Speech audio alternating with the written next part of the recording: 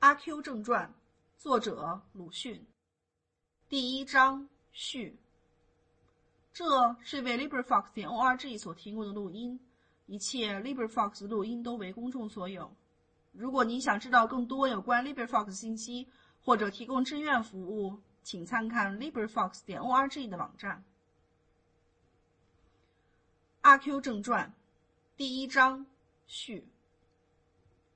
我要为阿 Q 做正传，已经不止一两年了，但一面要做，一面又往回想，这足见我不是一个立言的人，因为从来不朽之笔，须传不朽之人。于是人以文传，文以人传，究竟谁靠谁传，渐渐的不是了然起来，而终于归结到传阿 Q，仿佛思想里有鬼似的。然而，要做这一篇素朽的文章，才下笔便感到万分的困难了。第一是文章的名目。孔子曰：“名不正则言不顺。”这原是应该极注意的。传的名目很繁多，列传、自传、内传、外传、别传、家传、小传，而可惜都不合。列传吗？这一篇并非和许多阔人摆在正史里，自传吗？我又并非就是阿 Q，说是外传、内传在哪里呢？倘用内传，阿 Q 又绝不是神仙。别传呢？阿 Q 实在未曾有大总统上谕宣赴国史馆立本传。虽说英国正史上并无博图列传。而文豪狄更斯也做过《博图别传》这一部书，但文豪则可，在我辈却不可的。其次是家传，则我既不知与阿 Q 是否同宗，也未曾受他子孙的拜托；或小传，则阿 Q 又更无别的大传了。总而言之，这一篇也便是本传，但从我的文章着想。因为文体卑下，是引车卖浆者流所用的话，所以不敢见称，便从不入三教九流的小说家所谓“闲话休题言归正传”这一句套话里，取出“正传”两个字来作为名目，即使与古人所传书法正传的“正传”字面上很相混，也顾不得了。第二。立传的通例，开首大抵该是某字某某地人也，而我并不知道阿 Q 姓什么。有一回，他似乎是姓赵，但第二日便模糊了。那是赵太爷的儿子进了秀才的时候，锣鼓堂堂的报到村里来。阿 Q 正喝了两碗黄酒，便手舞足蹈的说：“这于他也很光彩，因为他和赵太爷原来是本家。”细细的排起来，他还比秀才长三倍呢。其实几个旁听人倒也肃然的有些起敬了。哪知道第二天，地保便叫阿 Q 到赵太爷家里去。太爷一见，满脸见珠，喝道：“阿 Q，你这混小子，你说我是你的本家吗？”阿 Q 不开口。赵太爷愈看愈生气了，抢进几步说。你敢胡说！我怎么会有你这样的本家？你姓赵吗？阿 Q 不开口，想往后退了。赵太爷跳过去，给了他一个嘴巴。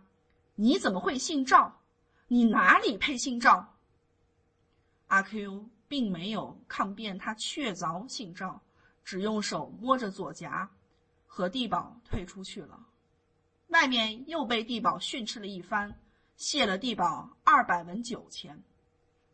知道的人都说阿 Q 太荒唐，自己去招打。他大约未必姓赵，即使真姓赵，有赵太爷在这里，也不该如此胡说的。此后便再没有人提起他的氏族来，所以我终于不知道阿 Q 究竟什么姓。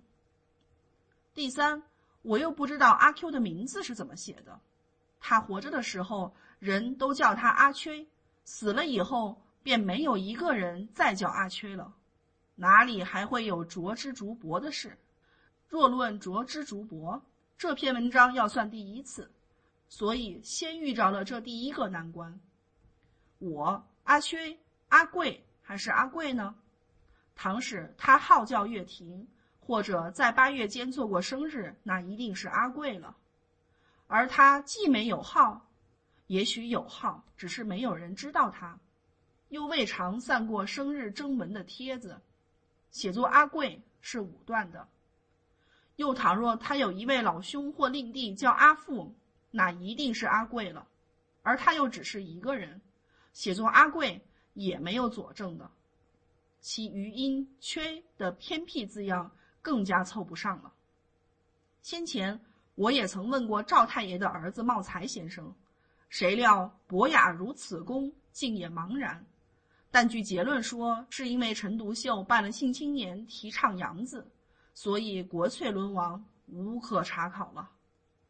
我的最后的手段，只有托一个同乡去查阿 Q 范氏的案卷，八个月之后才有回信，说案卷里并无与阿缺的声音相近的人。我虽不知道是真没有还是没有查，然而也再没有别的方法了，生怕注音字母还未通行，只好用了洋字，照英国流行的拼法写他为阿缺。略作阿 Q，这基于盲从新青年，自己也很抱歉。但茂才公尚且不知，我还有什么好办法呢？第四是阿 Q 的籍贯了。倘他姓赵，则据现在号称郡望的老吏，可以照《郡民百家姓》上的注解，说是陇西天水人也。但可惜这姓是不实可靠的。因此，籍贯也就有些决不定。他虽然多住魏庄，然而也常常宿在别处，不能说是魏庄人。即使说是魏庄人也，也仍然有乖使法的。我所聊以自慰的是，还有一个“阿”字非常正确，绝无腐秽假借的缺点，颇可以就正于通人。至于其余，却都非浅学所能穿凿。只希望有历史癖与考据癖的胡适之先生的门人们，将来或者能够寻出许多新端绪来。但是我这《阿 Q 正传》到那时却又怕早经消灭了。以上可以算是序。第一章完。《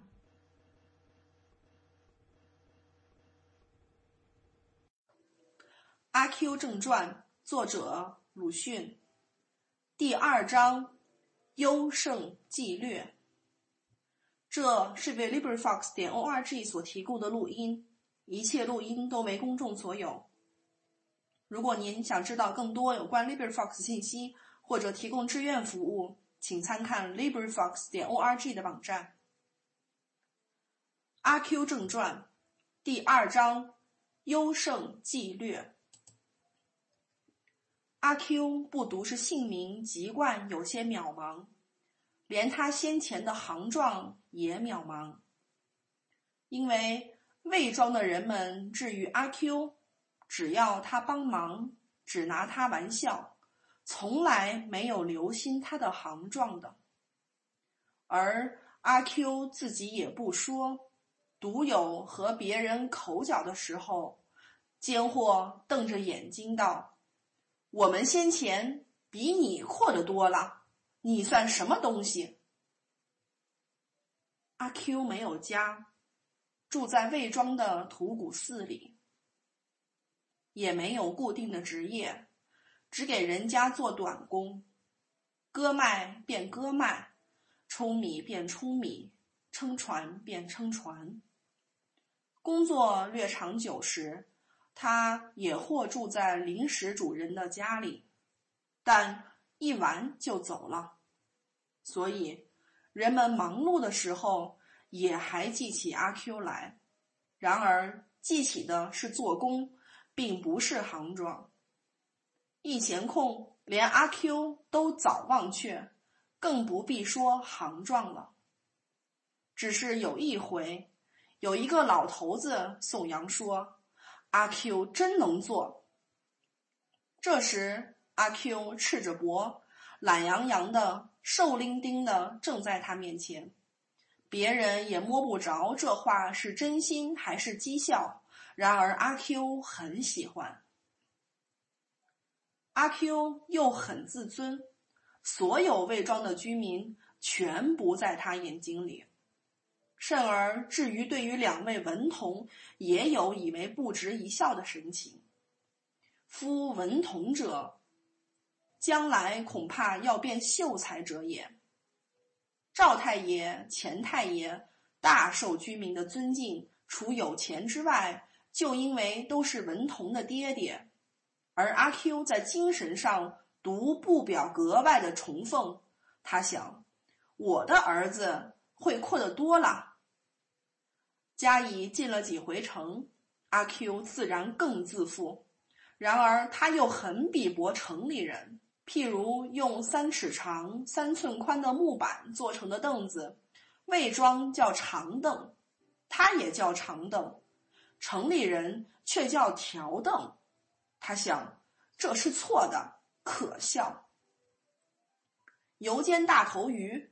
魏庄都加上半寸长的葱叶，城里却加上切细的葱丝。他想，这也是错的，可笑。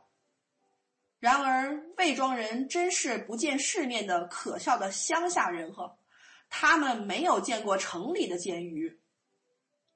阿 Q 先前阔，见识高，而且真能做，本来几乎是一个完人了。但可惜他体质上还有一些缺点，最恼人的是在他头皮上颇有几处不知起于何时的赖疮疤。这虽然也在他身上，而看阿 Q 的意思，倒也似乎以为不足贵的，因为他会说赖，以及一切近于赖的音。后来推而广之，光也会，亮也会。再后来，连灯烛都会了。一犯会，不问有心与无心，阿 Q 便全巴通红的发起怒来。估量了对手，口讷的他便骂，力气小的他便打。然而不知怎么一回事，总还是阿 Q 吃亏的时候多。于是他渐渐的变换了方针，大抵改为怒目而视了。谁知道阿 Q 采用怒目主义之后，魏庄的闲人们便愈喜欢玩笑他。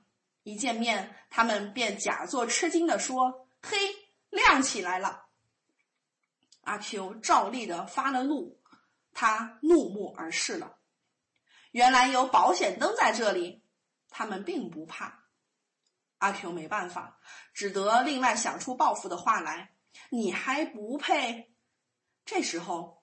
又仿佛在他头上的是一种高尚的、光荣的赖头疮，并非平常的赖头疮了。但上文说过，阿 Q 是有见识的，他立刻知道和范纪有点抵触，便不再往底下说。闲人还不完，只聊他，于是终而至于打。阿 Q 在形式上打败了。被人揪住黄辫子，在壁上碰了四五个响头，闲人这才心满意足的得胜的走了。阿 Q 站了一刻，心里想：我总算被儿子打了，现在的世界真不像样。于是也心满意足的得胜的走了。阿 Q 想在心里的，后来每每说出口来，所以凡有和阿 Q 玩笑的人们。几乎全知道他有这一种精神上的胜利法。以后每逢揪住他黄辫子的时候，人就先对他说：“阿 Q，这不是儿子打老子，是人打畜生。”自己说：“人打畜生。”阿 Q 两只手都捏住了自己的辫根，歪着头说道：“打重置好不好？我是重置，还不放吗？”但虽然是重置，闲人也并不放，仍旧在就近什么地方给他碰了五六个响头，这才心满意足的得胜的走了。他以为阿 Q 这回可遭了瘟，然而不到十秒钟，阿 Q 也心满意足的得胜的走了。他觉得他是第一个能够自轻自贱的人，除了自轻自贱不算外，余下的就是第一个。状元不也是第一个吗？你算是什么东西？阿 Q 以如是等等妙法克服怨敌之后，便愉快的跑到酒店里喝几碗酒，又和别人调笑一通，口角一通，又得了胜，愉快的回到土谷寺，放头放倒头睡着了。假使有钱，他便去押牌宝，一堆人蹲在地面上，阿 Q 即汗流满面的夹在这中间，声音他最响，青龙四百。嘿，开了！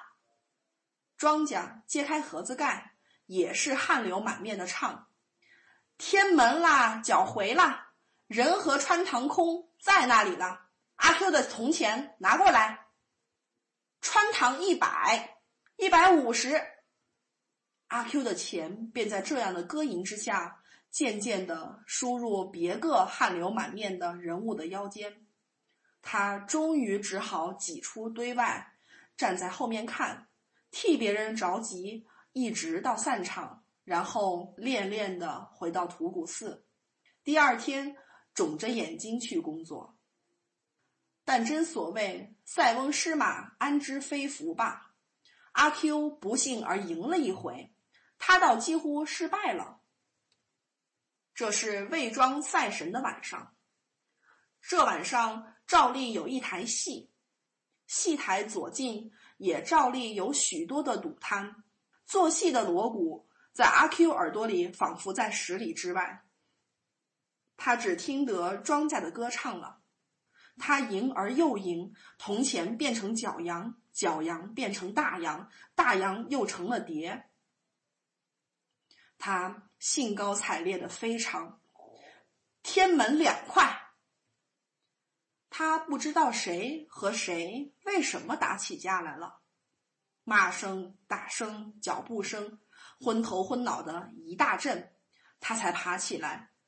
赌摊不见了，人们也不见了，身上有几处很似乎有些痛，似乎也挨了几拳几脚似的。几个人诧异的对他看，他如有所思的走进土谷寺。定一定神，知道他的一堆洋钱不见了。赶赛会的赌摊多不是本村人，还到哪里去寻根底呢？很白很亮的一堆洋钱，而且是他的，现在不见了。说是算被儿子拿去了吧，但还是呼呼不乐。说自己是重置吧。也还是呼呼不乐。他这回才有些感到失败的苦痛了，但他立刻转败为胜了。他擎起右手，用力的在自己脸上连打了两个嘴巴，热辣辣的，有些痛。打完之后，便心平气和起来，似乎打的是自己，被打的是别一个自己。不久，也就仿佛是自己打了别个一般，虽然还有些热辣辣，心满意足的得胜的躺下了，他睡着了。第二章优胜计略完，《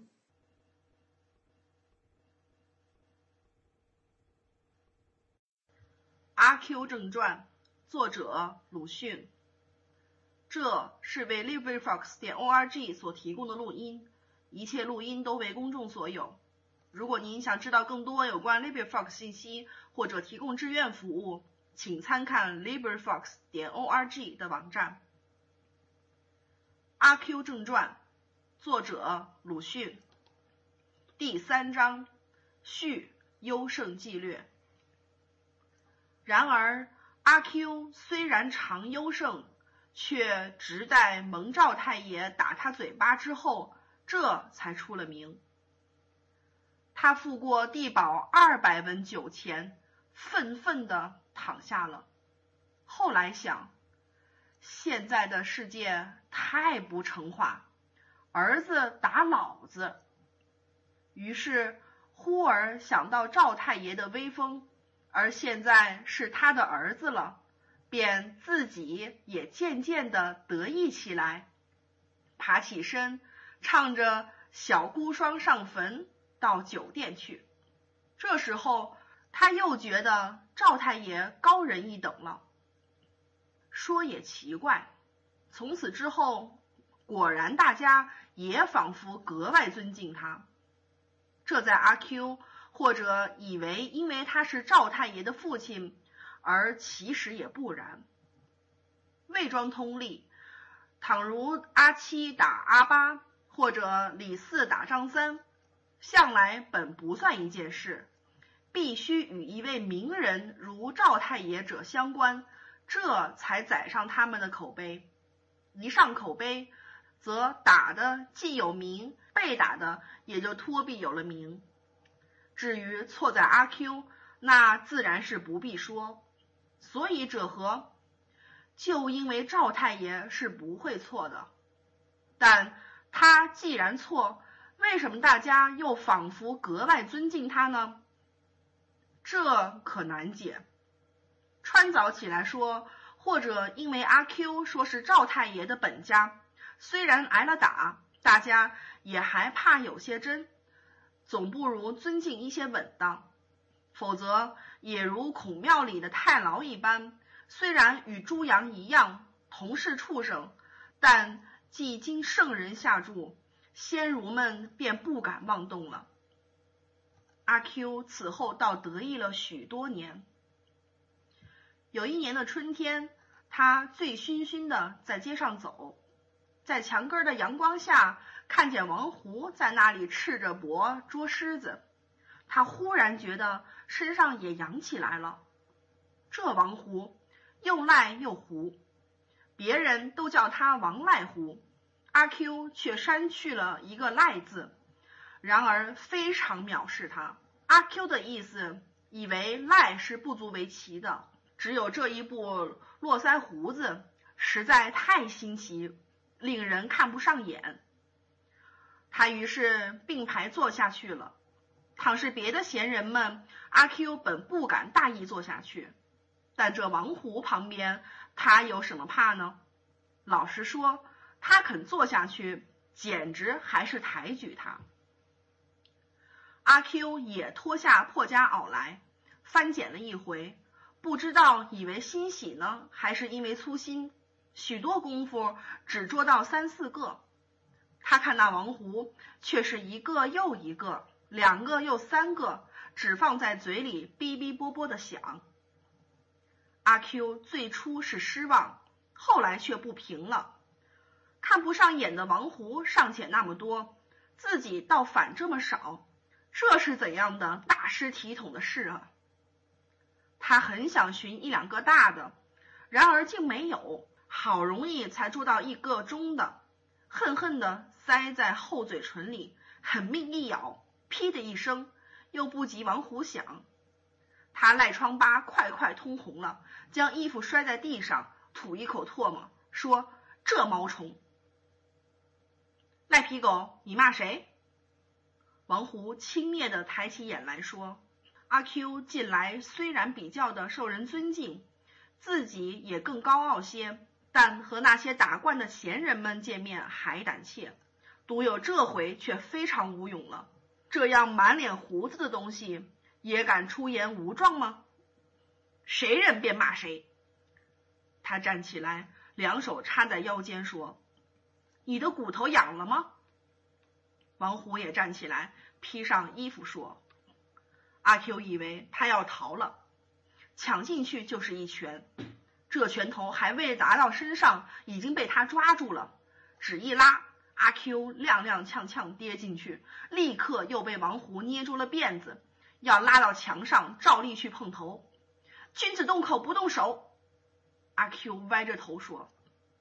王胡似乎不是君子，并不理会，一连给他碰了五下，又用力的一推，至于阿 Q 跌出六尺多远，这才满足的去了。在阿 Q 的记忆上。这大约要算是生平第一件的屈辱，因为王胡以络腮胡子的缺点，向来只被他奚落，从没有奚落他，更不必说动手了。而他现在竟动手，很意外。难道真如世上所说，皇帝已经停了考，不要秀才和举人了？因此赵家灭了威风，因此他们也便小觑他了吗？阿 Q 无可适从的站着。远远的走来一个人，他的对头又到了。这也是阿 Q 最厌恶的一个人，就是钱太爷的大儿子。他先前跑上城里去进洋学堂。不知怎么又跑到东洋去了。半年之后，他回到家里来，腿也直了，辫子也不见了。他的母亲大哭了十几场，他的老婆跳了三回井。后来，他的母亲到处说，这辫子是被坏人灌醉了酒剪去的，本来可以做大官，现在只好等留长再说了。然而阿 Q 不肯信，偏称他假洋鬼子。也叫做里通外国的人，一见他，一定在肚子里暗暗的咒骂。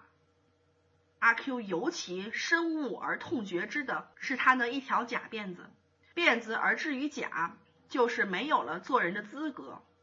他的老婆不跳第四回井，也不是好女人。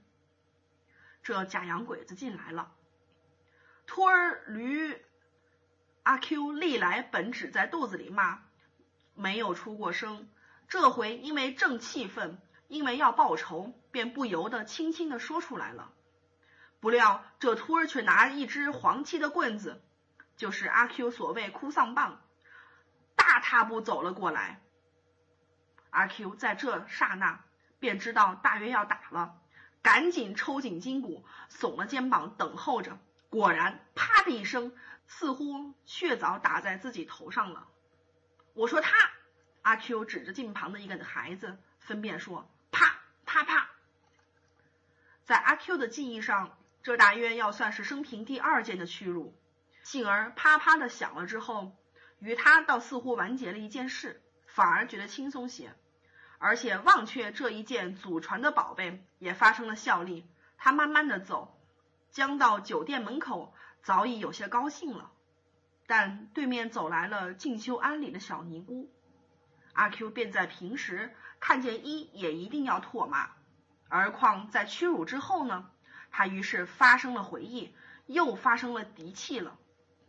我不知道我今天为什么这样晦气，原来就因为见了你。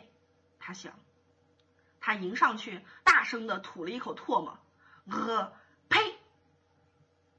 小尼姑全不睬，低了头，只是走。阿 Q 走进医生旁，突然伸出手去摸着医新剃的头皮，呆笑着说：“托儿，快回去，和尚等着你。你怎么动手动脚？”尼姑满脸通红的说，一面赶快走。酒店里的人大笑了。阿 Q 看见自己的熏液得了赏识，便愈加兴高采烈起来。和尚动得，我动不得。他扭住一的面颊。酒店里的人大笑了，阿 Q 更得意，而且为满足那些赏鉴家起见，再用力的一拧，才放手。他这一战，早忘却了王胡，也忘却了假洋鬼子，似乎对于今天的一切晦气都报了仇。而且奇怪，又仿佛全身比啪啪的响了之后更轻松，飘飘然的，似乎要飞去了。这断子绝孙的阿 Q。远远的听着小尼姑的带哭的声音，哈哈哈！阿 Q 十分得意的笑，哈哈哈！酒店里的人也九分得意的笑。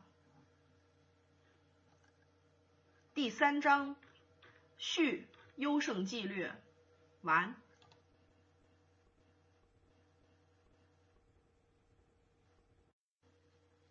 这是为 LibriVox 点 org 所提供的录音。一切录音都为公众所有。如果你想知道更多有关 LibriVox 信息或者提供志愿服务，请参看 LibriVox 点 org 的网站。《阿 Q 正传》，作者鲁迅。第四章：恋爱的悲剧。有人说，有些胜利者愿意敌手如虎如鹰，他才感得胜利的欢喜；假使如羊。如小鸡，他便反觉得胜利的无聊。又有些胜利者当克服一切之后，看见死的死了，降的降了，臣诚惶诚恐，死罪死罪。他于是没有了敌人，没有了对手，没有了朋友，只有自己在上，一个孤零零、凄凉、寂寞，便反而感到了胜利的悲哀。然而，我们的阿 Q 却没有这样罚，他是永远得意的。这或者也是中国精神文明冠于全球的一个证据了。看呐，他飘飘然的，似乎要飞去了。然而这一次的胜利却又使他有些异样。他飘飘然的飞了大半天，飘进土谷寺，照例应该躺下便打鼾。谁知道这一晚。他很不容易合眼，他觉得自己的大拇指和第二指有点古怪，仿佛比平常滑腻些。不知道是小尼姑的脸上有一点滑腻的东西粘在她指上，还是她的指头在小尼姑脸上磨得滑腻了。断子绝孙的阿 Q，阿 Q 的耳朵里又听到这句话，他想。不错，应该有一个女人，断子绝孙便没有人供一碗饭。应该有一个女人，夫不孝有三，无后为大。而若熬之鬼馁耳，也是一件人生的大哀。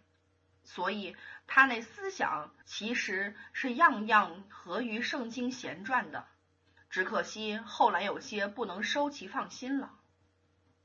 女人，女人。他想，和尚懂得，女人，女人，女人。他又想，我们不能知道这晚上阿 Q 在什么时候才打鼾，但大约他从此总觉得指头有些滑腻，所以他从此总有些飘飘然。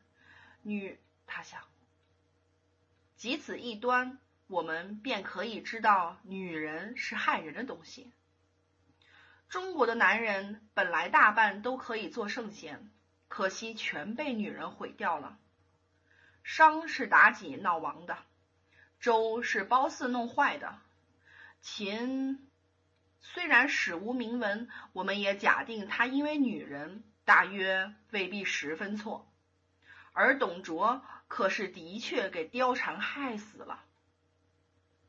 阿 Q 本来也是正人。我们虽然不知道他曾蒙什么名师指授过，但他对于男女之大防却历来非常严，也很有排斥异端，如小尼姑及假洋鬼子之类的正气。他的学说是：凡尼姑一定与和尚私通，一个女人在外面走，一定想引诱野男人，一男一女在哪里讲话。一定要有勾当了。为惩治他们起见，所以他往往怒目而视，或者大声说几句诛心话，或者在冷僻处便从后面掷一块小石头。谁知道他将到耳立之年，竟被小尼姑害得飘飘然了。这飘飘然的精神，在礼教上是不应该有的。所以，女人真可恶。即使小尼姑的脸上不滑腻，阿 Q 便不至于被蛊；又加使小尼姑的脸上盖一层布，阿 Q 便也不至于被蛊了。他五六年前曾在戏台下的人丛中拧过一个女人的大腿，但因为隔一层裤，所以此后并不飘飘然。而小尼姑并不然，这也足见异端之可恶。女，阿 Q 想。他对于以为一定想引诱野男人的女人，时常留心看。然而一并不对他笑。他对于和他讲话的女人，也时常留心听。然而一又并不提起关于什么勾当的话来。哦，这也是女人可恶之一节。一们全都要装假正经的。这一天，阿 Q 在赵太爷家里冲了一天米。吃过晚饭，便坐在厨房里吸旱烟。躺在别家吃过晚饭，本可以回去的了，但赵府上晚饭早，虽说定例不准掌灯，一吃完便睡觉，然而偶然也会有一些例外。其一是赵大爷未进秀才的时候，准其点灯读文章；其二便是阿 Q 来做短工的时候，准其点灯舂米。因为这一条例外，所以阿 Q 在动手舂米之前，还坐在厨房里吸旱烟。吴妈是赵太爷家里唯一的女仆，洗完了碗碟，也就在长凳上坐下了，而且和阿 Q 谈闲天。太太两天没有吃饭嘞，因为老爷要买一个小的。女人，吴妈，这小孤孀，阿 Q 想，我们的少奶奶是八月里要生孩子啦。女人，阿 Q 想。阿 Q 放下烟管，站了起来。我们的少奶奶，吴妈还唠叨说：“我和你困觉，我和你困觉。”阿 Q 忽然抢上去，对衣跪下了，一霎时中很寂然。哎呀！吴妈愣了一息，突然发抖，大叫着往外跑，且跑且嚷，似乎后来带哭了。阿 Q 对了墙壁跪着也发愣，于是两手扶着空板凳，慢慢的站起来，仿佛觉得有些糟。他这时却也有些忐忑了，慌张的将烟管插在裤带上，就想去冲米。砰的一声，头上着了很粗的一下，他急忙回转身去，那秀才便拿了一支大竹杠站在他面前：“你反了，你这！”大竹杠又向他劈下来了，阿 Q 两手去抱头，拍得正打在指节上，这可很有一些痛。他冲出厨房门，仿佛背上又啄了一下似的。王八蛋！秀才在后面用了官话这样骂。阿 Q 奔入舂米场，一个人站着，还觉得指头痛，还记得王八蛋，因为这话是魏庄的乡下人从来不用。专是见过官府的阔人用的，所以格外怕，而印象也格外深。但这时他那女的思想却也没有了，而且打骂之后，似乎一件事也已经收束，倒反觉得一无挖碍似的，便动手去冲米。冲了一会，他热起来了，又歇了手脱衣服。脱下衣服的时候，他听得外面很热闹。阿 Q 生平本来最爱看热闹，便即循声走出去了。循声渐渐的寻到赵太爷的内院里，虽然在昏黄中，却辨得出许多人。赵府一家连两日不吃饭的太太也在内，还有坚壁的邹七嫂，真正本家的赵白眼、赵思辰。少奶奶正拖着吴妈走出下房来，一面说：“你到外面来，不要躲在自己房里想。”谁不知道你正经？短见是万万寻不得的。邹七嫂也从旁说：“吴妈只是哭，夹些话，却不甚听得分明。”阿 Q 想：“哼，有趣，这小孤孀不知道闹着什么玩意儿了。”他想打听，走进赵思成的身边。这时他猛然间看见赵大爷向他奔来，而且手里捏着一只大竹杠。他看见这一只大竹杠，便猛然间悟到自己曾经被打，和这一场热闹似乎有点相关。他翻身便走，想逃回冲泥场，不图这只竹杠阻了他的去路。于是他又翻身便走，自然而然的走出后门，不多功夫已在土谷寺内了。阿 Q 坐了一会，皮肤有些起立，因为虽在春季，而夜间颇有余寒。尚不宜于赤膊，他也记得布衫留在赵家，但倘若续娶，又生怕秀才的竹杠。然而地保进来了，阿 Q，你的妈妈的，你连赵家的佣人都调戏起来，简直是造反，害得我晚上没有觉睡。你的妈妈的，如是云云的教训了一通，阿 Q 自然没有话。林默因为在晚上。应该送地保加倍酒钱四百文，阿 Q 正没有现钱，便用一顶毡帽做抵押，并且钉定了五条件：一、明天用红烛，要一斤重的，一对，香一封，到赵府上去赔罪；二、赵府上请道士扶除一鬼，费用由阿 Q 负担；三、阿 Q 从此不准踏进赵府的门槛；四、吴妈此后倘有不测，唯阿 Q 试问；五。阿 Q 不准再去索取工钱和布衫，阿 Q 自然都答应了，可惜没有钱。幸而已经春天，棉被可以无用，便掷了两千大钱履行条约。赤膊磕头之后，居然还剩几文，他也不再赎毡帽，统统喝了酒了。但赵家也并不烧香点烛，因为太太拜佛的时候可以用，留着了。那破布衫是大半做了少奶奶八月间生下来的孩子的衬尿布，那小半破烂的便都做了吴妈的鞋底。第四章，恋爱的悲剧，完。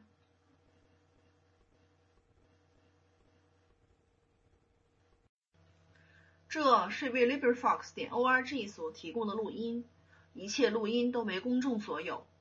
如果您想知道更多有关 LibriVox 信息，或者提供志愿服务，请参看 LibriVox 点 org 的网站。《阿 Q 正传》，作者鲁迅。第五章：生计问题。阿 Q 礼毕之后，仍旧回到土谷寺。太阳下去了，渐渐觉得世上有些古怪。他仔细一想。终于醒悟过来，其原因盖在自己的赤膊。他记得破夹袄还在，便披在身上躺倒了。待张开眼睛，原来太阳又已经照在西墙上头了。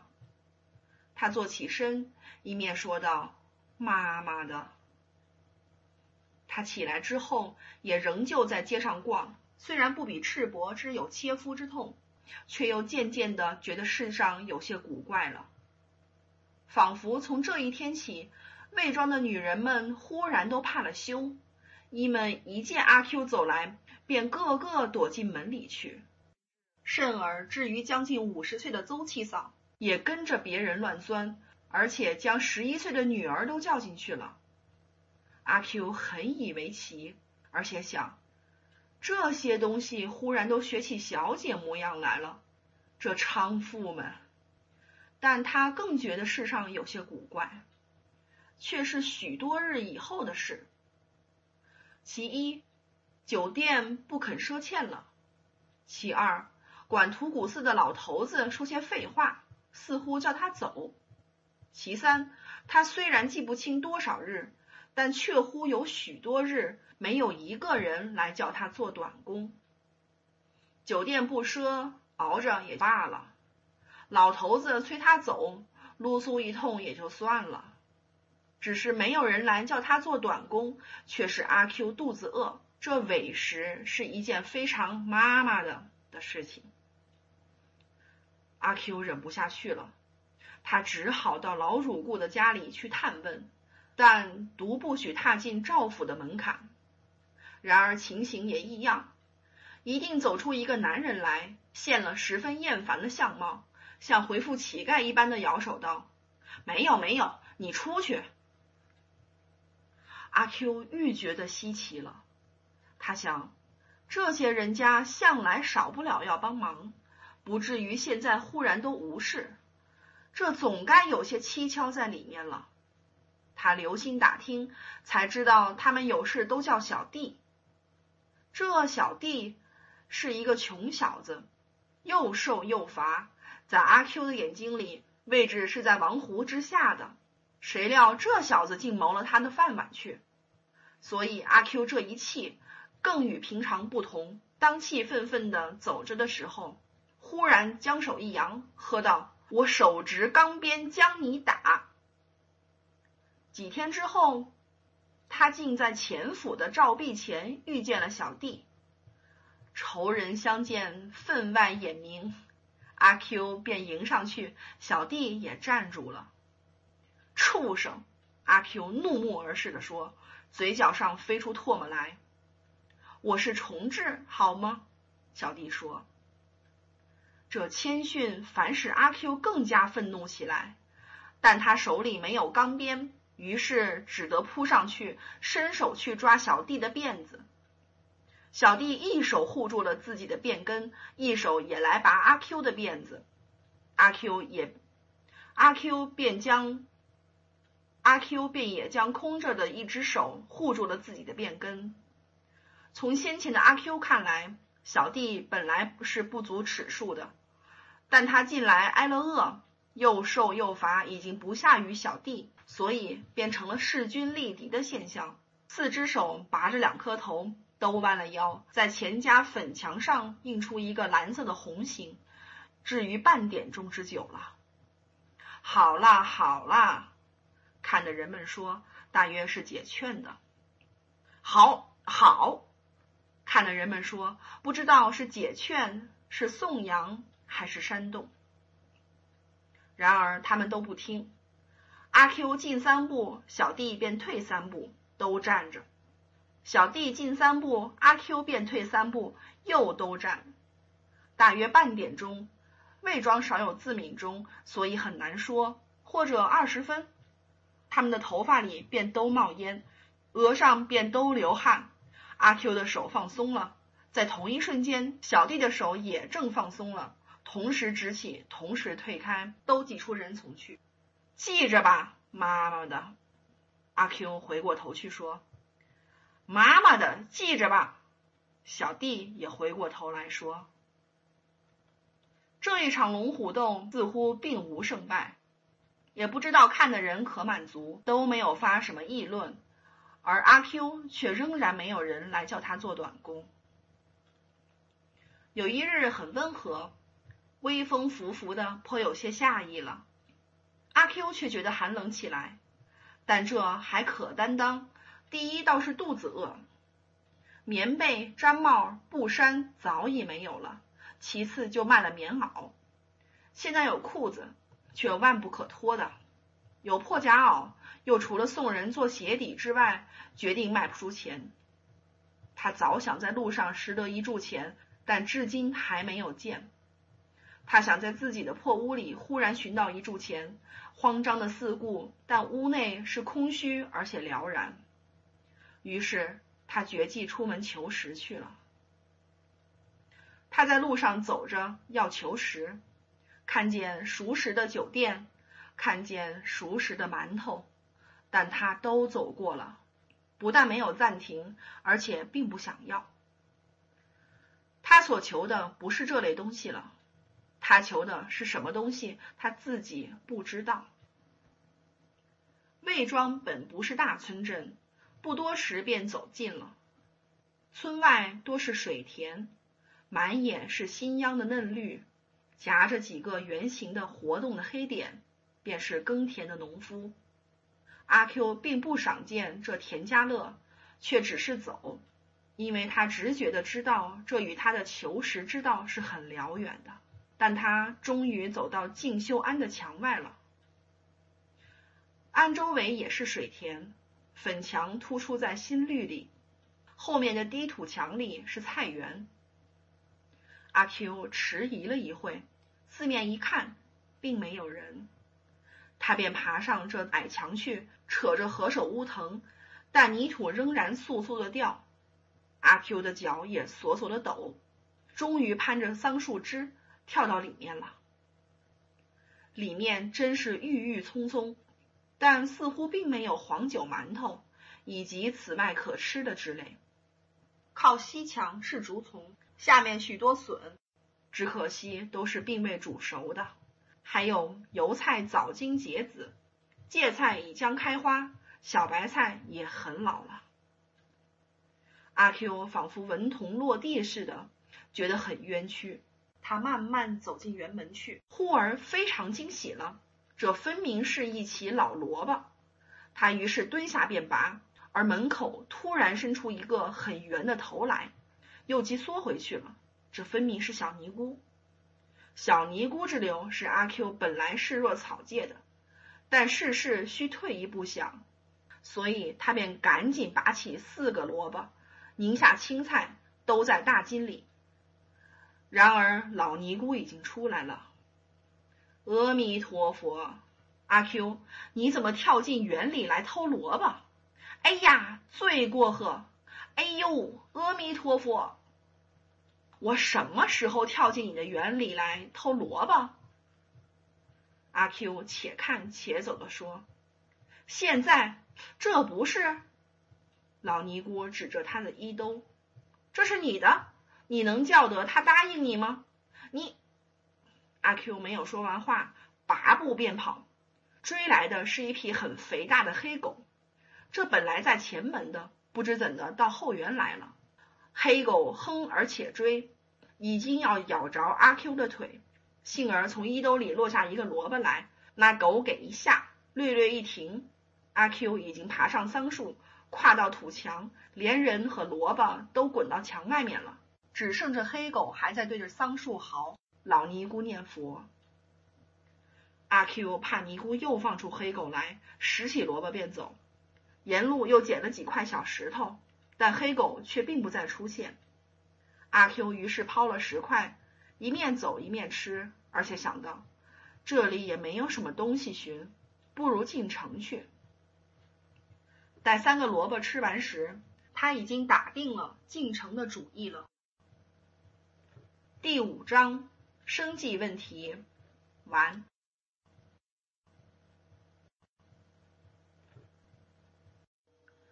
这是为 LibriVox 点 org 所提供的录音，一切录音都为公众所有。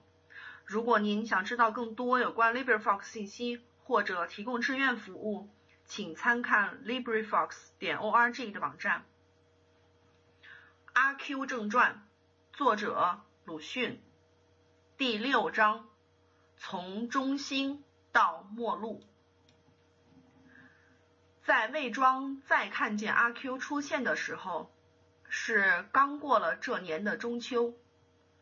人们都惊异，说是阿 Q 回来了，于是又回上去想到，他先前哪里去了呢？阿 Q 前几回的上城，大抵早就兴高采烈的对人说，但这一次却并不，所以也没有一个人留心到。他或者也曾告诉过管土谷寺的老头子。然而，魏庄老吏只有赵太爷、钱太爷和秀才大爷上城才算一件事。假洋鬼子尚且不足数，何况是阿 Q？因此，老头子也就不替他宣传，而魏庄的社会上也就无从知道了。但阿 Q 这回的回来。却与先前大不同，却乎很值得惊异。天色将黑，他睡眼朦胧的在酒店门前出现了。他走进柜台，从腰间伸出手来，满把是银的和铜的，在柜上一扔，说：“现钱。”打酒来，穿的是新夹袄，看去腰间还挂着一个大搭脸，沉甸甸的，将裤带缀成了很弯很弯的弧线。魏庄老吏看见略有些醒目的人物，是语其慢也宁静的。现在。虽然明知道是阿 Q，但因为和破家袄的阿 Q 有些两样了。古人云：“士别三日，便当刮目相待。”所以堂官、掌柜、酒客、路人便自然显出一种疑而且敬的形态来。掌柜既先知以点头。又记之以谈话，阿 Q，你回来了，回来了，发财发财！你是在上城去了。这一件新闻第二天便传遍了全魏庄，人人都愿意知道现钱和新家袄的阿 Q 的中心史，所以在酒店里、茶馆里、庙檐下，便渐渐的探听出来了。这结果是阿 Q 得了新敬畏。据阿 Q 说，他是在举人老爷家里帮忙。这一节听的人都肃然了。这老爷本姓白，但因为河城里只有他一个举人，所以不必再冠姓。说起举人来，就是他。这也不独在魏庄是如此，便是一百里方圆之内也都如此。人们多以为他的姓名就叫举人老爷的了，在这人的府上帮忙，那当然是可敬的。但据阿 Q 又说，他却不高兴再帮忙了，因为这举人老爷实在太妈妈的了。这一节听的人都叹息，而且快意，因为阿 Q 本不配在举人老爷家里帮忙，而不帮忙是可惜的。据阿 Q 说，他的回来似乎也由于不满意城里人，这就在他们将长凳称为条凳，而且煎鱼用葱丝。加以最近观察所得的缺点是，女人的走路也扭得不很好。然而，也偶有大可佩服的地方，即如魏庄的乡下人不过打三十二张的竹牌，只有假洋鬼子能够插麻将，城里却连小乌龟子都插得精熟的。什么假洋鬼子，只要放在城里的十几岁的小乌龟子的手里，也就立刻是小鬼见阎王。这一节听的人都赧然了。你们可见过杀头吗？阿 Q 说：“嗨，好看，杀革命党，哎，好看，好看。”他摇摇头，将唾沫。飞在正对面的赵思成的脸上，这一节听的人都凛然了。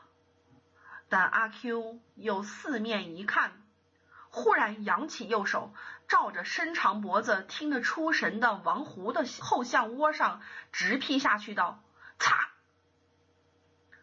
王胡惊得一跳，同时电光石火似的赶紧缩了头，而听的人。又都悚然，而且欣然了。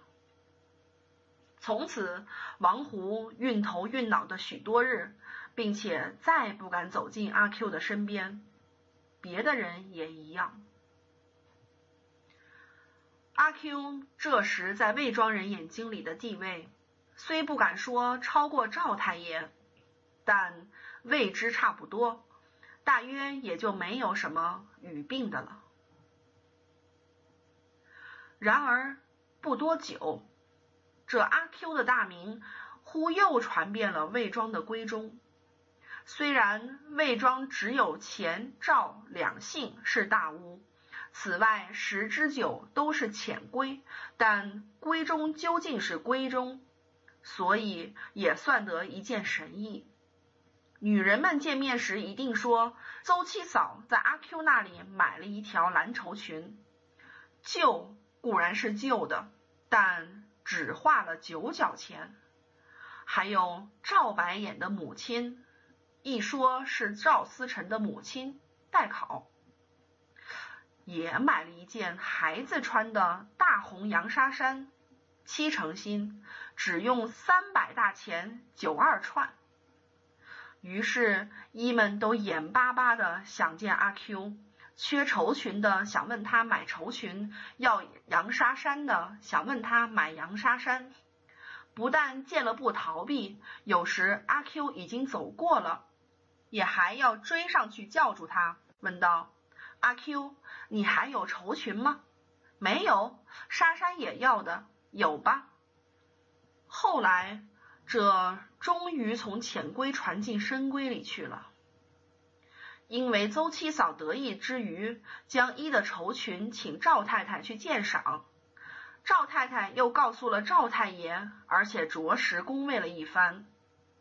赵太爷便在晚饭桌上和秀才大爷讨论，以为阿 Q 实在有些古怪，我们门窗应该小心些，但他的东西不知道可还有什么可买。也许有点好东西吧。加以赵太太也正想买一件价廉物美的皮背心，于是家族决议，便托邹七嫂即刻去寻阿 Q，而且为此新开了第三种的例外。这晚上也姑且特准点油灯，油灯干了不少了，阿 Q 还不到。赵府的全眷都很焦急，打着呵欠，或恨阿 Q 太飘忽，或怨邹七嫂不上紧。赵太太还怕他因为春天的条件不敢来，而赵太爷以为不足虑，因为这是我去叫他的。果然，到底赵太爷有见识，阿 Q 终于跟着邹七嫂进来了。只说没有没有，我说你自己当面说去。他还要说，我说，邹七嫂气喘吁吁的走着说：“太爷。”阿 Q 似笑非笑的叫了一声，在檐下站住了。阿 Q，听说你在外面发财？赵太爷夺开去，眼睛打量着他的全身，一面说。那很好，那很好的。这个，听说你有些旧东西，可以都拿来看一看。这也并不是别的，因为我倒要，我对邹七嫂说过了，都完了，完了。赵太爷不觉失声的说：“哪里会完的这样快呢？那是朋友的，本来不多，他们买了些，总该还有一点吧。”现在只剩了一张门木了，就拿门木来看看吧。赵太太慌忙说：“那么明天拿来就是。”赵太爷却不甚热心了。阿 Q，你以后有什么东西的时候，你尽先送来给我们看，价钱绝不会比别家出的少。秀才说：“秀才娘子忙一瞥阿 Q 的脸。”看他感动了没有？我要一件皮背心。赵太太说：“阿 Q 虽然答应着，却懒洋洋的出去了，也不知道他是否放在心上。这使赵太爷很失望、气愤，而且担心，至于停止了打呵欠。秀才对于阿 Q 的态度也很不平，于是说：‘这王八蛋要提防。’”或者竟不如吩咐地保，不许他住在魏庄。但赵太爷以为不然，说这也怕要结怨。况且做这路生意的，大概是老鹰不吃窝下食，本村倒不必担心的，只要自己夜里警醒点就是了。秀才听了这庭训，非常之以为然。便即刻撤销了驱逐阿 Q 的提议，而且叮嘱邹七嫂，请一万不要向人提起这一段话。但第二日，邹七嫂便将那蓝裙去染了皂，又将阿 Q 可疑之点传扬出去了，可是却没有提起秀才要驱逐他这一节。然而这已经与阿 Q 很不利。最先，地保寻上门了，取了他的门目去。阿 Q 说是赵太太要看的，而地保也不还，并且要议定每月的孝敬钱。其次，是村人对于他的敬畏忽而变相了，虽然还不敢来放肆，却很有远避的神情，而这神情和先前的防他来擦的时候又不同，颇混着敬而远之的分子了。只有一般闲人们，却还要寻根究底的去探阿 Q 的底细。阿 Q 也并不会是傲然的说出他的经验来。从此，他们才知道，他不过是一个小角色，不但不能上墙，并且不能进洞，只站在洞外接东西。有一夜，他刚才接到一个包。正手再进去，不一会，只听得里面大嚷起来，他便赶紧跑，连夜爬出城，逃回魏庄来了。从此不敢再去做。然而这故事却与阿 Q 更不利。村人对于阿 Q 的敬而远之者，本因为怕结怨，谁料他不过是一个不敢再偷的偷儿呢？这实在是思亦不足畏也已。第六章从中心到末路完。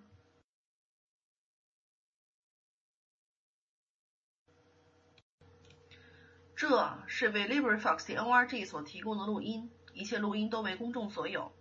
如果您想知道更多有关 LibriVox 信息或者提供志愿服务，请参看 LibriVox 点 NRG 的网站。《阿 Q 正传》，作者鲁迅。第七章：革命。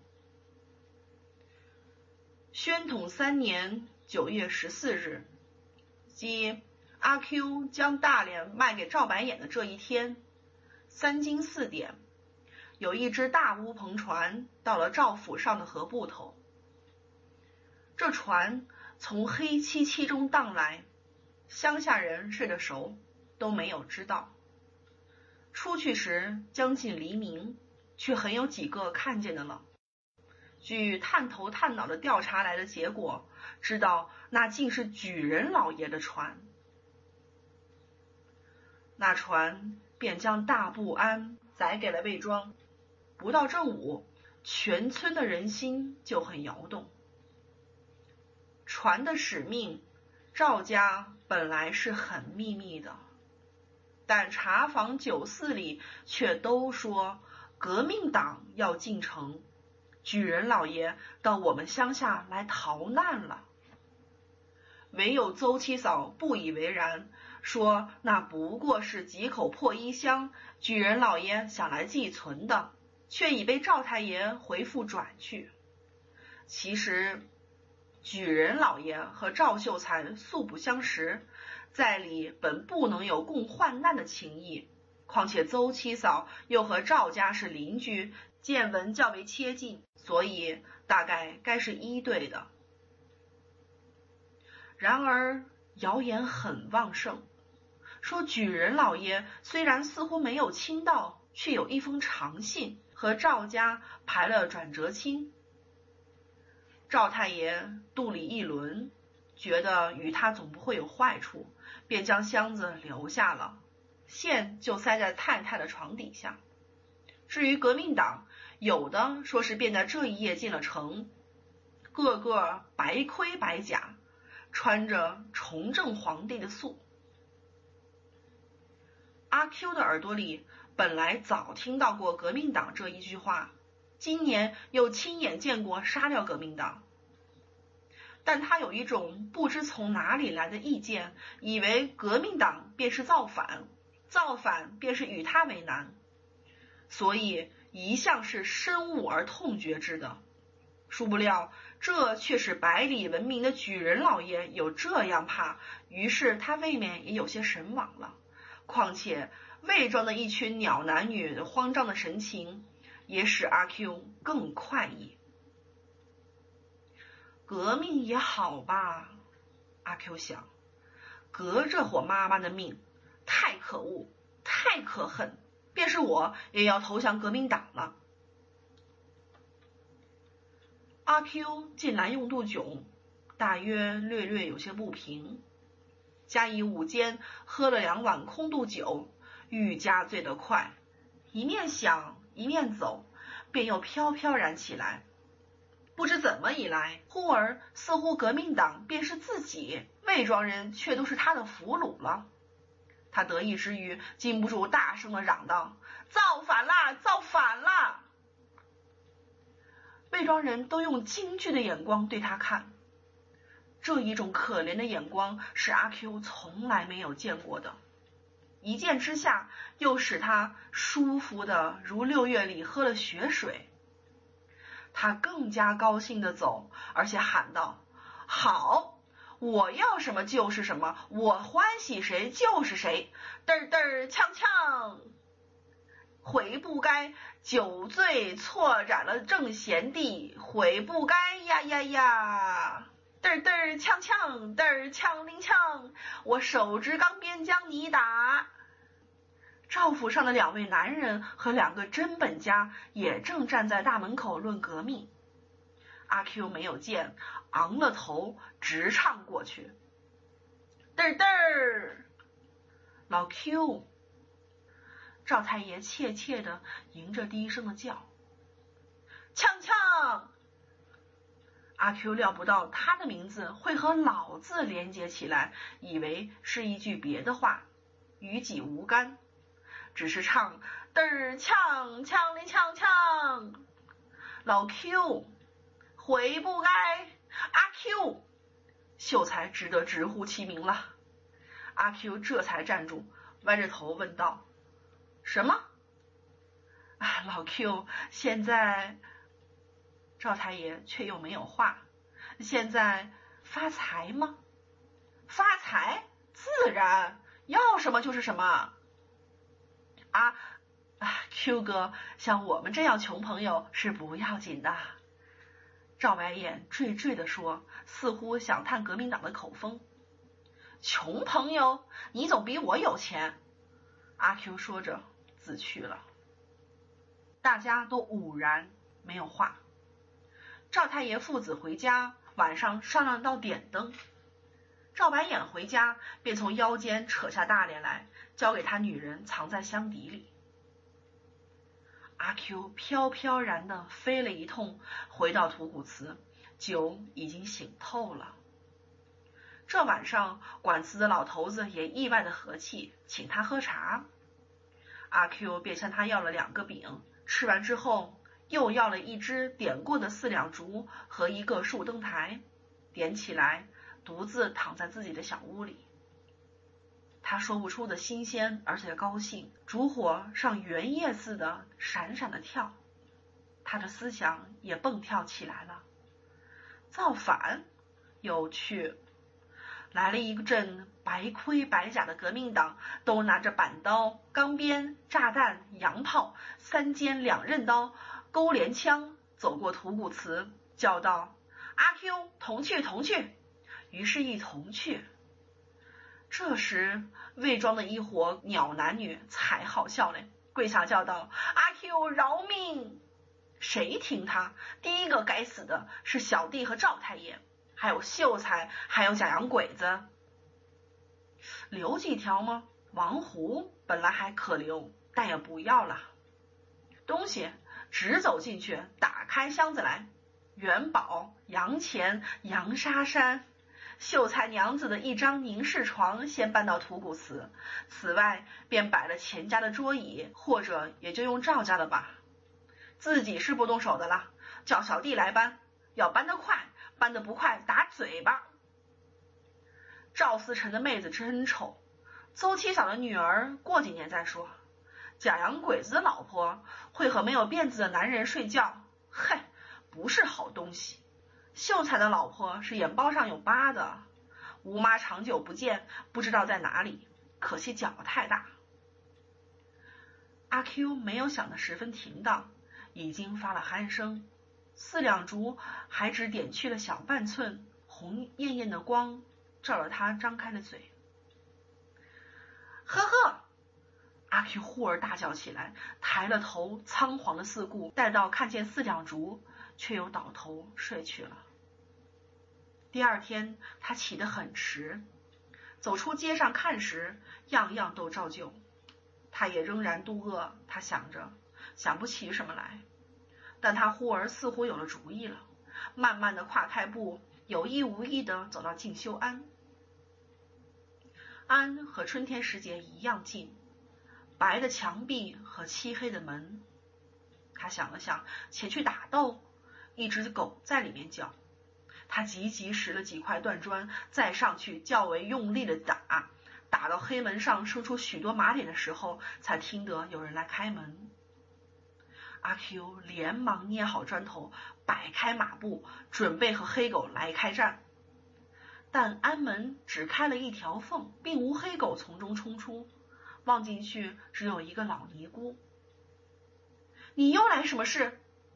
一大吃一惊的说：“革命了，你知道？”阿 Q 说的很含糊：“革命，革命，革过一革党。你们要革的我们怎么样呢？”老尼姑两眼通红的说：“什么？”阿 Q 诧异了：“你不知道他们已经来革过了？谁？”阿 Q。更其诧异了，那秀才和洋鬼子。阿 Q 很出意外，不由得一错愕。老尼姑见他失了锐气，便飞速的关了门。阿 Q 再推时牢不可开，再打时没有回答了。那还是上午的事。赵秀才消息灵，一知道革命党已在夜间进城，便将辫子盘在顶上，一早去拜访那历来也不相能的钱洋鬼子。这是咸与维新的时候了，所以他们便谈得很投机，立刻成了情投意合的同志，也相约去革命。他们想而又想，才想出静修庵里有一块“皇帝万岁万万岁”的龙牌，是应该赶紧革掉的。于是又立刻同到庵里去革命。因为老尼姑来阻挡，说了三句话，他们便将一当做满政府，在头上狠给了不少的棍子和利凿。尼姑带他们走后，定了神来检点，龙牌固然已经碎在地上了，而且又不见了观音娘娘座前的一个宣德炉。这事阿 Q 后来才知道。他颇悔自己睡着，但也深怪他们不来招呼他。他又退一步想到：难道他们还没有知道我已经投降了革命党吗？第七章革命完。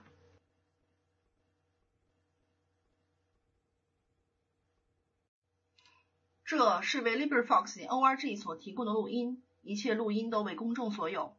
如果您想知道更多有关 LibriVox 信息或者提供志愿服务，请参看 LibriVox 点 org 的网站。《阿 Q 正传》作者鲁迅，第八章不准革命。魏庄的人心日渐其安静了。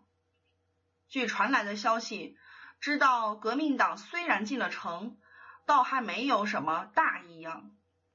知县大老爷还是原官，不过改称了什么，而且举人老爷也做了什么，这些名目魏庄人都说不明白。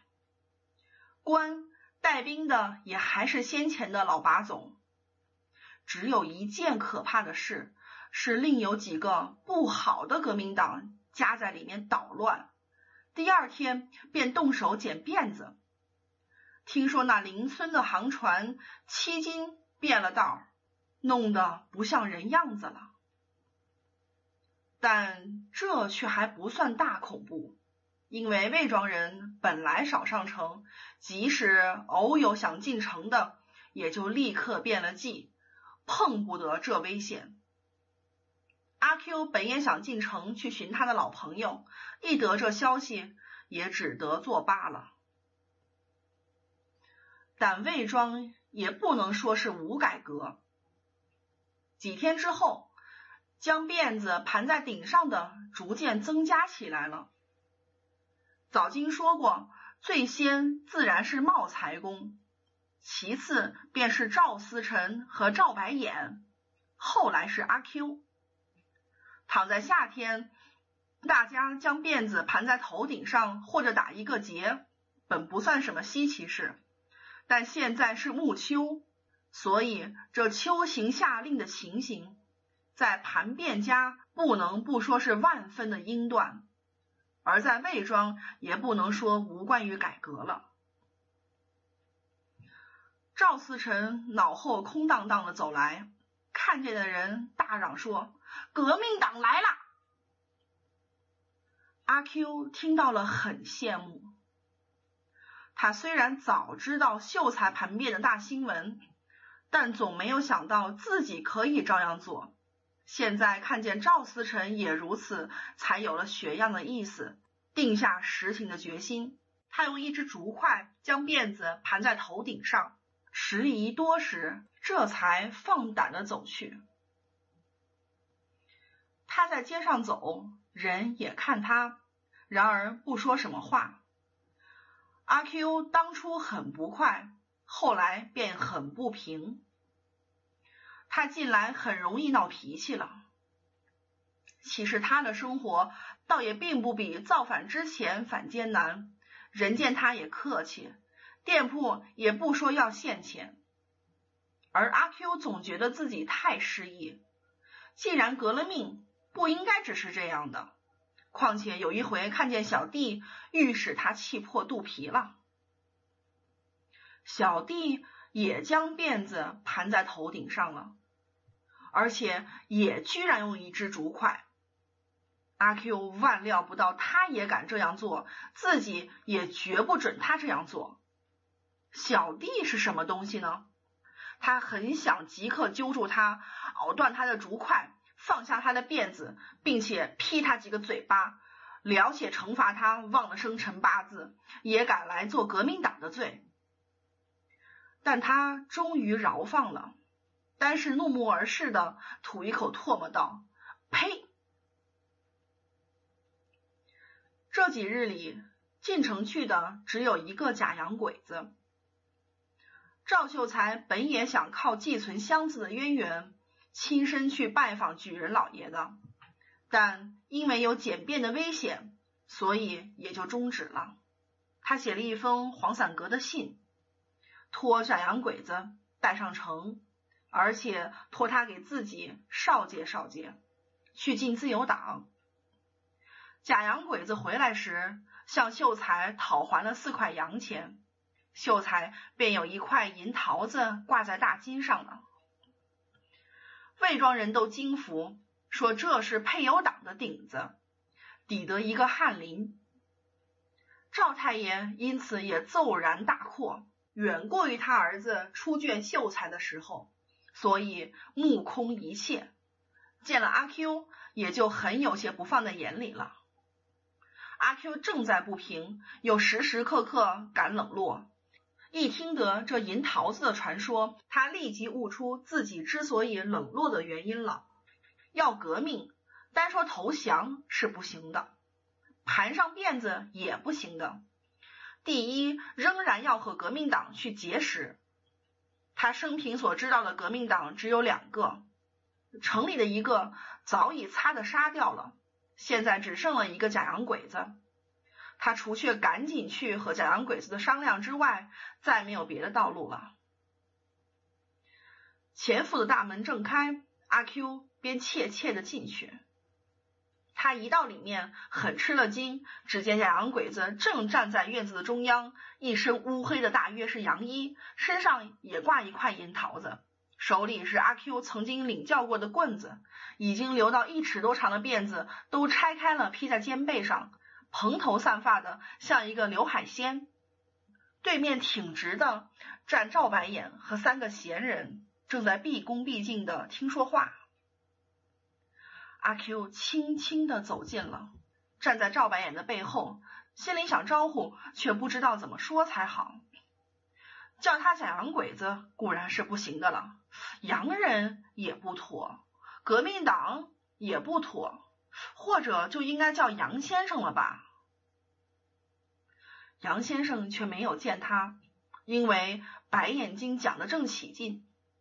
我是性急的，所以我们见面，我总是说红哥，我们动手吧。他却总说到 no，这是洋话，你们不懂的。否则早已成功了。然而这正是他做事小心的地方。他再三再四的请我上湖北，我还没有肯。谁愿意在这小县城里做事情？哦，这个阿 Q 后他略停，终于用十二分的勇气开口了，但不知道因为什么，又并不叫他杨先生。听说话的四个人都吃惊的回顾他，杨先生也才看见什么？我出去，我要投，滚出去！杨先生扬起哭丧棒来了。赵白眼和闲人们便都吆喝道：“先生叫你滚出去，你还不听吗？”阿 Q 将手向头上一遮，不自觉的逃出门外。杨先生倒也没有追。他快跑了六十多步，这才慢慢的走，于是心里便涌起了忧愁。杨先生不准他革命，他再没有别的路，从此绝不能妄有白盔白甲的人来叫他。他所有的抱负、志向、希望、前程，全被一笔勾销了。至于闲人们传扬开去，给小弟王虎等辈笑话，倒是还在其次的事。他似乎从来没有经验过这样的无聊。他对于自己的盘辫子，仿佛也觉得无意味，要捂面。为报仇起见，很想立刻放下辫子来，但也没有尽放。他游到夜间，吃了两碗酒，喝下肚去，渐渐的高兴起来了，思想里才又出现白盔白甲的碎片。有一天，他照例的混到夜深，待酒店要关门，才夺回土谷寺去。拍罢，他忽而听得一种异样的声音，又不是爆竹。阿 Q 本来是爱看热闹、爱管闲事的，便在暗中直寻过去，似乎前面有些脚步声。他正听，猛然间一个人从对面逃来了。阿 Q 一看见，便赶紧翻身跟逃。那人转弯，阿 Q 也转弯。既转弯，那人站住了，阿 Q 也站住。他看后面并无什么，看那人便是小弟。什么？阿 Q 不平起来了。赵赵家遭抢了！小弟气喘吁吁的说。阿 Q 的心砰砰的跳了。小弟说了便走，阿 Q 却逃而又停的两三回。但他究竟是做过这路生意的人，格外胆大。于是，似乎许多白盔白甲的人乐意的将箱子抬出了，器具抬出了，秀才娘子的凝视床也抬出了。但是不分明，他还想上前，两只脚却没有动。这一夜没有月，魏庄在黑暗里很寂静，寂静到像西皇时候一般太平。阿 Q 站着，看到自己发烦，也似乎还是先前一样，在那里来来往往的搬。箱子抬出了，器具抬出了，秀才娘子的凝视床也抬出了，抬得他自己有些不信他的眼睛了。但他决计不再上前，却回到自己的祠里去了。土谷寺里更漆黑，他关好大门，摸进自己的屋子里。他躺了好一会，这才定了神，而且发出关于自己的思想来。白盔白甲的人明明到了，并不来打招呼，搬了许多好东西，又没有自己的份，这全是这洋鬼子可恶，不准我造反，否则这次何至于没有我的份呢？阿 Q 越想越气，终于禁不住满心痛恨起来，独独的点一点头。不准我造反，只准你造反！妈妈的假洋鬼子，好，你造反，造反是杀头的罪名呵，我总要告一状，看你抓进县里去杀头，满门抄斩！擦擦！第八章不准革命，完。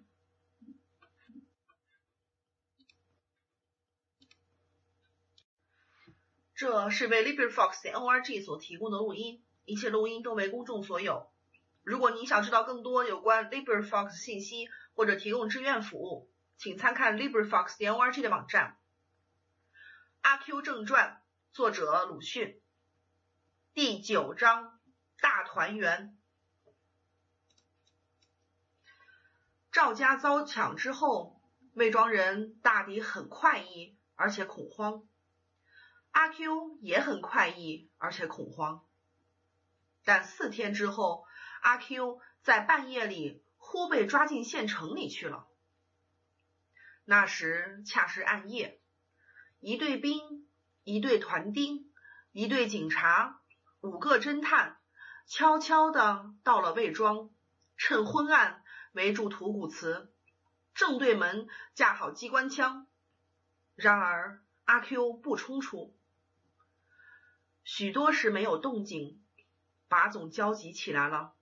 悬了二十千的赏，才有两个团丁冒了险，口指余环进去，里应外合，一拥而入，将阿 Q 抓出来。直待擒出祠外面的机关枪所进，他才有些清醒了。到进城已是正午，阿 Q 见自己被推进一所破衙门。转了五六个弯，便推在一间小屋里。他刚刚一趔趄，那用整株的木子料做成的栅栏门便跟他的脚跟合上了。其余的三面都是墙壁。仔细看时，屋角上还有两个人。阿 Q 虽然有些忐忑，却并不很苦闷，因为他那土谷祠里的卧室也并没有比这间屋子更高明。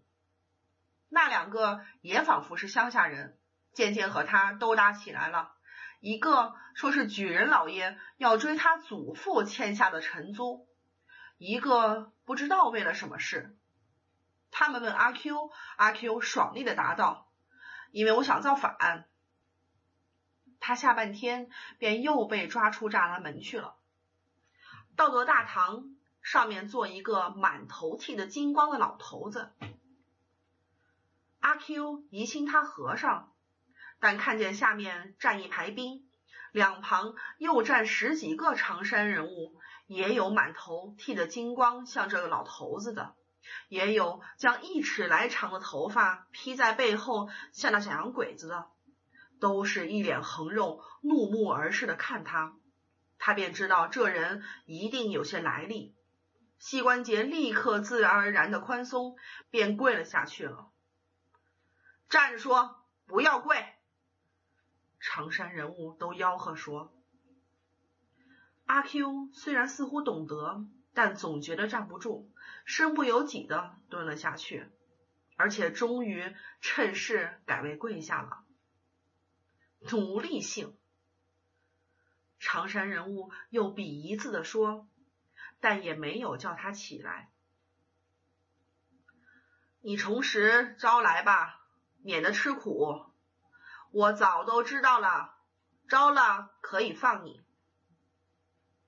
那光头的老头子看定了阿 Q 的脸，沉静的、清楚的说：“招吧。”长山人物也大声说：“我本来要来头。”阿 Q 糊里糊涂的想了一通，这才断断续续的说：“那么。”为什么不来了呢？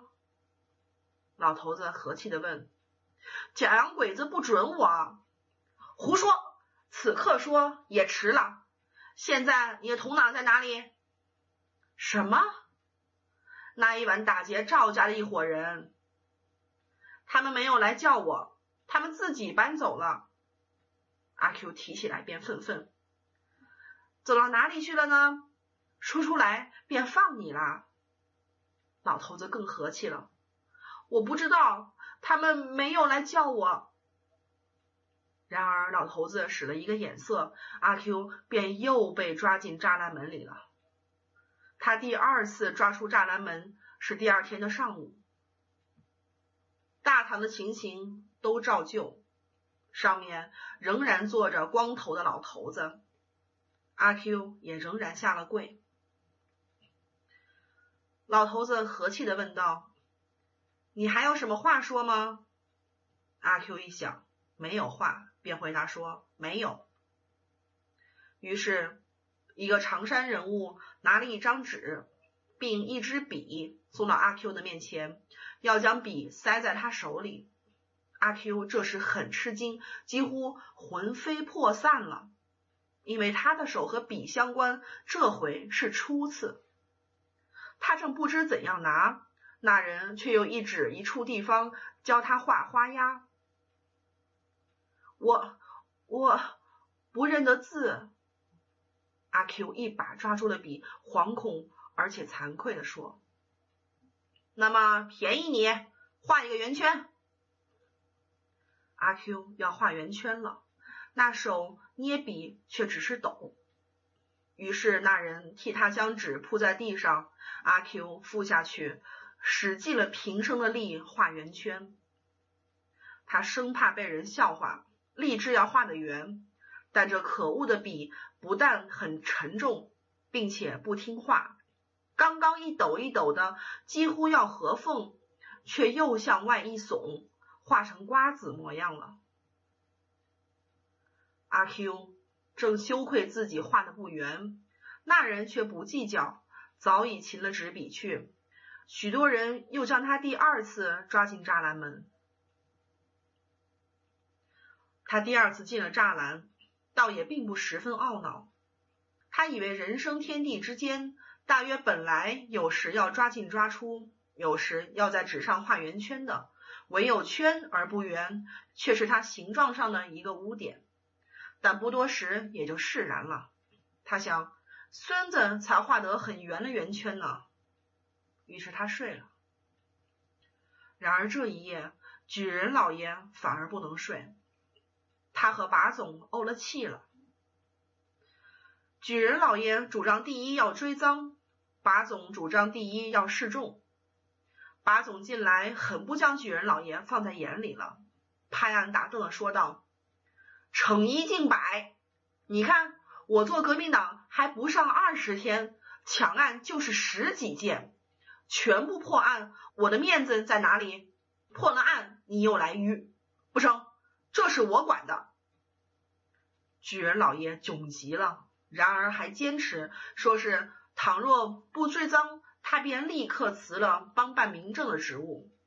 而把总却道：“请便吧。”于是举人老爷在这一夜竟没有睡，但幸而第二天倒也没有辞。阿 Q 第三次抓出栅栏门的时候，便是举人老爷睡不着的那一夜的明天的上午了。他到了大堂，上面还坐照例的光头老头子，阿 Q 也照例的下了跪。老头子很和气的问道。你还有什么话吗？阿 Q 一想，没有话，便回答说：“没有。”许多长衫和短衫人物忽然给他穿上一件洋布的白背心，上面有些黑字。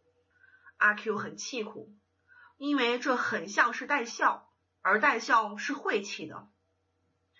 然而同时，他的两手反复了。同时又被一直抓出衙门外去了。阿 Q 被抬上了一辆没有棚的车，几个短衣人物也和他同坐在一处。这车立刻走动了，前面是一班背着洋炮的兵们和团丁，两旁是许多张嘴的看客。后面怎样，阿 Q 没有见，但他突然觉到了，这岂不是去杀头吗？他一急，两眼发黑，耳朵里。然而他又没有全发昏，有时虽然急，有时却也泰然。他一丝之间，似乎觉得人生天地间，大约本来有时也未免要杀头的。他还认得路，于是有些诧异了，怎么不向法场走呢？他不知道这是在游街，在示众。但即使知道也一样，他不过便以为人生天地间，大约本来有时也未免要游街要示众罢了。他醒悟了，这是绕到法场去的路，这一定是擦的去杀头。他往往的向左右看，全跟蚂蚁似的人，而在无意中，却在路旁的人众中发现了一个吴妈。很久远，一原来在城里做工了。阿 Q 忽然很羞愧，自己没志气，竟没有唱几句戏。他的思想仿佛旋风似的在脑里一回旋：小孤孀上坟欠堂皇，龙虎斗里的悔不该也太乏，还是手执钢鞭将你打吧。他同时想将手一扬，才记得这两手原来都捆着，于是手执钢鞭也不唱了。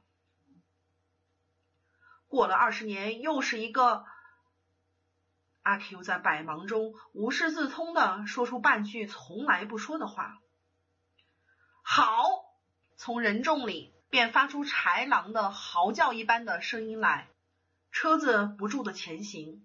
阿 Q 在喝彩声中轮转眼睛去看吴妈，似乎一一向并没有见他，却只是出神的看兵们背上的洋炮。阿 Q 于是再看那些喝彩的人们，这刹那中，他的思想又仿佛旋风似的在脑里一回旋了。四年之前，他曾在山脚下遇见一只饿狼。永世不近不远的跟定他，要吃他的肉。他那时吓得几乎要死，幸而手里有一柄砍柴刀，才得仗这壮了胆，支持到魏庄。可是永远记得那狼眼睛，又凶又怯，闪闪的像两颗鬼火，似乎远远的来穿透了他的皮肉。而这回他又看见从来没有见过的更可怕的眼睛了，又钝又锋利，不但已经咀嚼了他的话，并且还要咀嚼他皮肉以外的东西，永是不远不近的跟他走。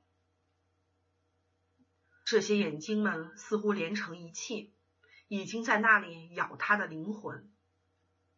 救命！然而阿 Q 没有说。他早就两眼发黑，耳朵里嗡的一声，觉得全身仿佛微尘似的迸散了。至于当时的影响最大的，倒反在举人老爷，因为终于没有追赃，他全家都耗了。其次是赵府飞特秀才，因为上城去报官，被不好的革命党剪了辫子。而且又破费了二十千的赏钱，所以全家也就耗了。从这一天以来，他们便渐渐的都发生了已老的气味。至于舆论，在魏庄事无异议，自然都说阿 Q 坏，被枪毙便是他的坏的证据，不坏又何至于被枪毙呢？而城里的舆论却不佳。他们多半不满足，以为枪毙并无杀头这般好看，而且那是怎样的一个可笑的死囚呵！游了那么久的街，竟没有唱一句戏，他们白跟一趟了。一九二一年十二月，第九章大团圆完。阿 Q 正传，作者鲁迅，全书完。